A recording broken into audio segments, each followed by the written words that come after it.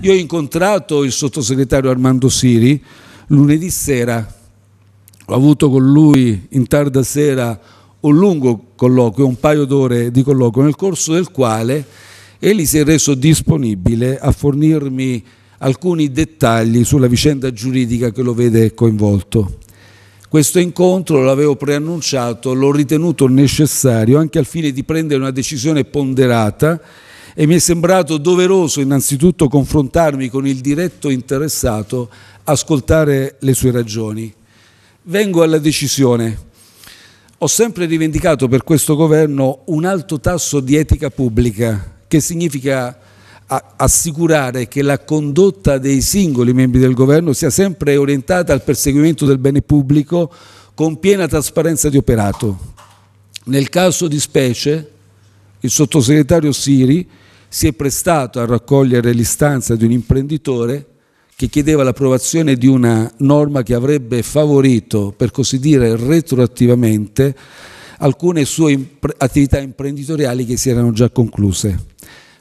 In questo caso la norma non avrebbe introdotto incentivi per attività imprenditoriali futuri, future. Voglio essere ancora più chiaro, non avrebbe offerto rispetto agli imprenditori che si accingono a svolgere attività una parità di chance, avrebbe offerto invece vantaggi retroattivi, una sorta di sanatoria per gli imprenditori che si fossero ritrovati nella condizione di avere svolto in passato alcune determinate attività. Insomma, per dirla in breve, la norma non era generale, era astratta e non disponeva per il futuro. Ecco, per queste ragioni io ho valutato la necessità, l'opportunità di dimissioni da parte del segretario Siri.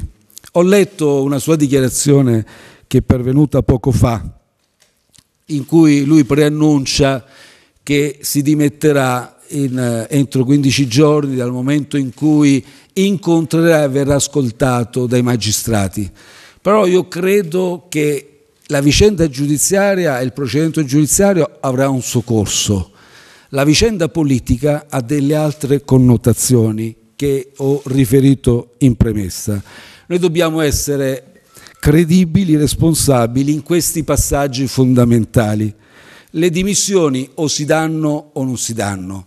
Dimissioni future che vengono ricollegate a iniziative collegate poi specificamente ad attività giurisdizionali, ad attività dei giudici, non credo abbiano molto senso.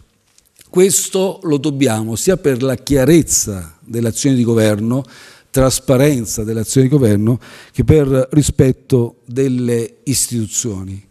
Aggiungo peraltro che come esperienza di avvocato, è chiaro che eventuali dichiarazioni spontanee che l'interessato potrà rendere ragionevolmente non potranno segnare una svolta rispetto a qua, questa fase preliminare di indagini.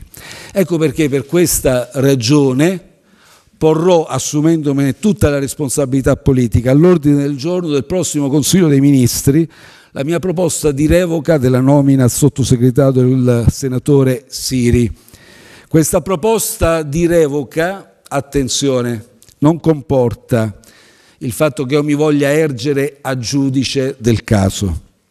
Questo compito spetta ai magistrati. Le mie valutazioni sono più ampiamente politiche e sono ricollegate alla responsabilità che mi spettano quale massima autorità di governo.